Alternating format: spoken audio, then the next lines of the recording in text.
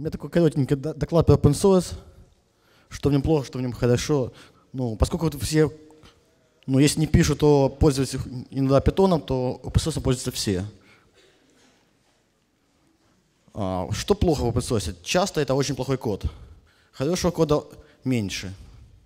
Если открыть GitHub, посмотреть, что там есть, будет плохо. Поэтому не всегда нужно учиться на примере open source. Я всегда привожу пример. Есть небольшая библиотека, кажется, NetAdder называется, предыдущая версия. Для, ну, библиотека просто генерирует айпишники. Там маски вычисляет сети и прочее.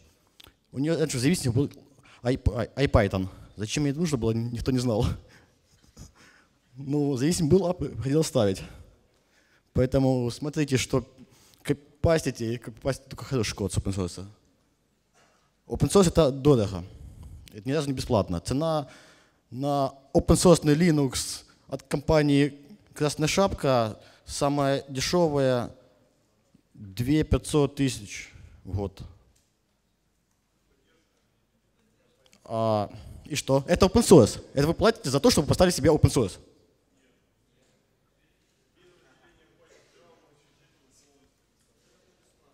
Ну, поставьте себе полностью Red Hat. И... Это будет CentOS.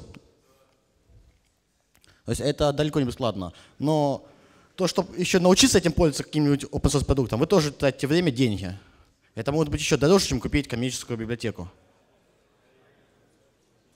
Дальше. Собственно, как на open source зарабатывать деньги? Это разработка open source продуктов. Ну, разработали, выпустили продукт, люди требуют новые фичи, вы говорите, мы заняты, ну, за небольшую денежку мы сделаем быстрее для вас. Или повесим бах. Реально работает. А, поддержка. Тот же Red Hat уже. Кстати, мне за рекламу не платили, надо другую компанию теперь примеры в следующем. Ну, поддержка open source проектов. Чем я часто занимаюсь на работе. У нас есть, у них есть проект OpenStack. Он open source, кое-как работает временами. Мы занимаемся тем, что он работал. За саппорт нам платят деньги. Реклама. Ну, реклама это в основном компании не зарабатывают на этим, зарабатывают э, простые разработчики, которые написали open source продукт, сделали веб-сайтик на нем, и там AdSense какой-нибудь крутится и получают деньги. Иногда много, иногда мало. Я слышал истории там, где люди с Украины зарабатывают ну, порядка там 7-8 тысяч долларов на AdSense. Ну, нет, в месяц, но все равно.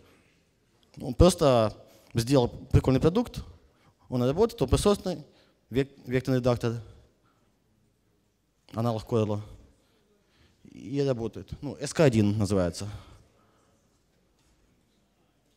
Да. И самое интересное, как делать open source. Да, это контрибьютинг, как правило, всем нужны.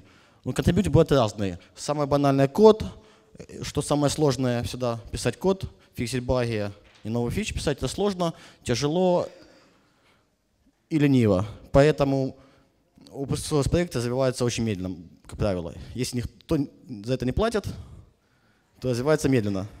Потому что разработчикам лениво что-то делать.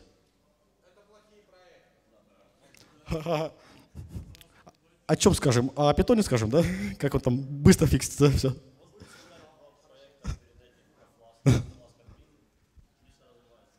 Да, окей.